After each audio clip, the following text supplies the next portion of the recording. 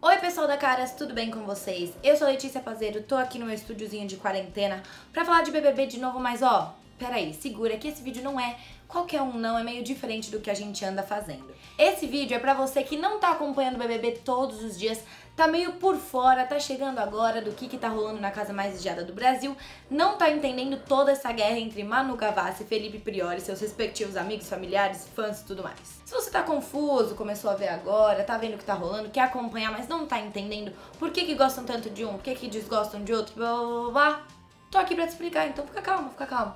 Vai dar tudo certo, tô aqui, vou te contar tudinho, então vamos começar lá do comecinho mesmo, vamos lá.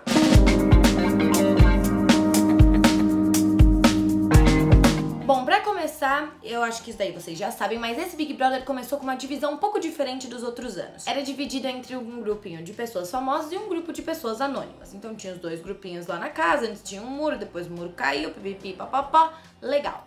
Os dois protagonistas dessa treta toda que tá rolando essa semana é a Manu Gavassi e o Felipe Prior, um de cada grupinho.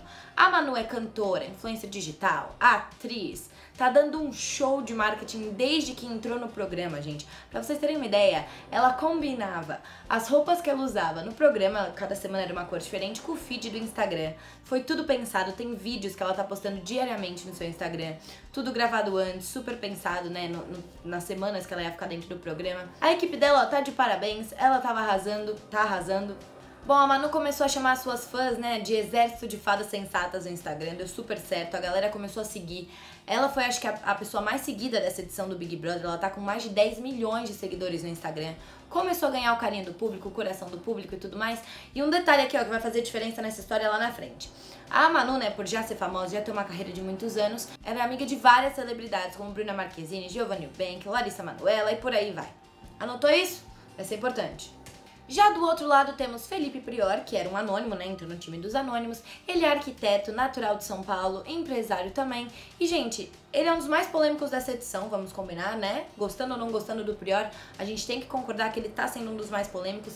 Tá lá para jogar mesmo. E ele tem certeza de que ele tá sendo o melhor jogador de todos os tempos do Big Brother. E para alguns até, né? Seja verdade, pode ser isso mesmo. O que acontece é que ele já se envolveu em várias polêmicas dentro da casa, né?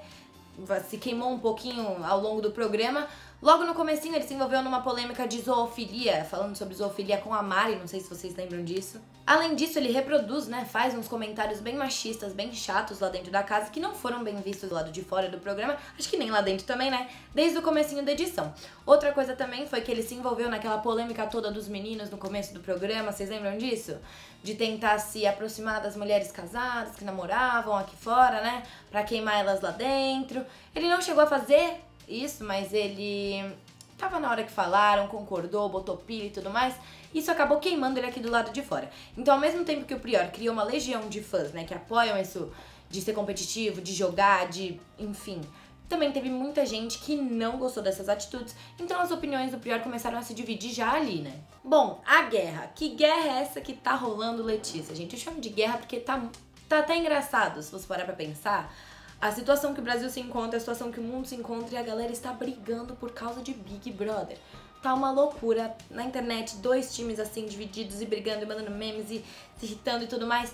Por quê? E são times completamente opostos, né? Manu tudo com essa pegada de girl power, de feminismo e tudo mais. E o lado do Priori já são mais os homens e tudo mais, que não apoiam muito esse negócio de girl power, que acham que é baboseira, que apoiam as atitudes dele no programa, alguns comentários que as meninas não gostaram muito. Então o que aconteceu? Dividiu, né? Dividiu bastante. São dois candidatos bem fortes, extremamente fortes, lá dentro da casa, que podem, viu, ganhar o programa. Todo mundo acha que os dois têm chance sim de ganhar o programa. Então, né, quando os dois foram indicados ao paredão, como que rolou isso? Vou falar aqui brevemente.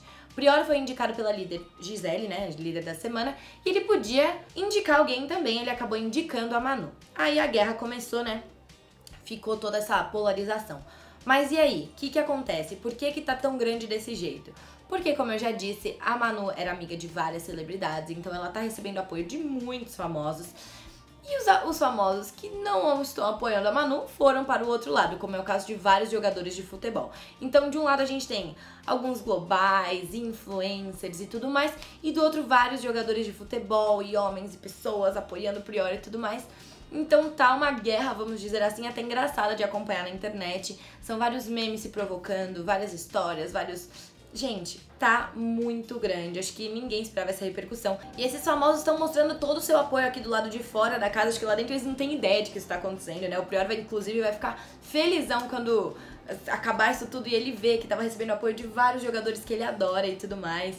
E o que que acontece? Bruna Marquezine, por exemplo, uma das melhores amigas de Manu Gavassi, tá fazendo um mutirão de votos pra atriz, cantora e tudo mais ficar dentro da casa. Larissa Manoela tá fazendo a mesma coisa, quer que ela fique. Davi Luiz já mostrou apoio pra Manu também, quer que ela fique na casa.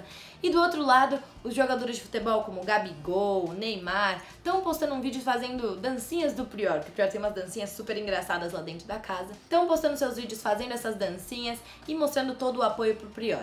Inclusive, Gabigol falou que vai sortear uma camisa dele se o Prior ficar dentro da casa, pra vocês terem uma ideia de como que tá é, alta, né, essa competição e tudo mais. Só para vocês terem uma ideia, esse paredão dessa semana bateu o recorde de votação da história do programa. Até ontem à noite, né, quando o Thiago entrou ao vivo, eram mais de 500 milhões de votos, gente. E ainda faltava, né, 24 horas para a eliminação que acontece na noite dessa terça-feira. Então a gente pode esperar um número muito maior, porque ainda tinha muito mais tempo para votar.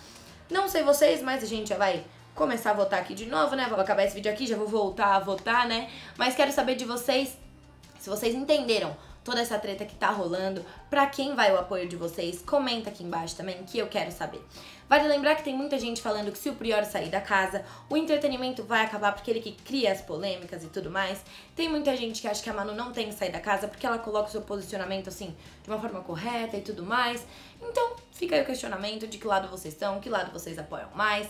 Quero saber a opinião de vocês. Comenta aqui embaixo pra gente bater um papinho sobre isso. Combinado? É isso. Vamos aguardar né, o resultado dessa noite. Amanhã a gente volta para comentar mais. Beijo e até lá.